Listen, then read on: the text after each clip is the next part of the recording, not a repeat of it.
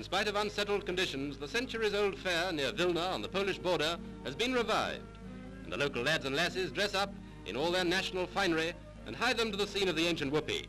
And yippee to you, sir, too.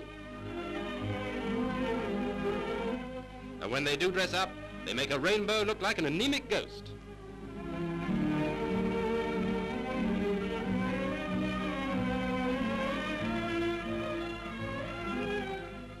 Most of the inhabitants of Vilna are Lithuanian peasants, and their influence can be seen in the eaves and porches of the quaint houses, some of them surmounted by a cross.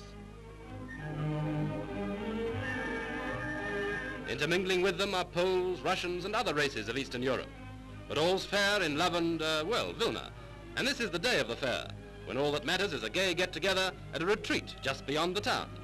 The fun may not be quite so hectic as at some Western fairs, but a chat and a bite and a parade of their best clothes is a simple pleasure that appeals to the happy yet hard-working peasants.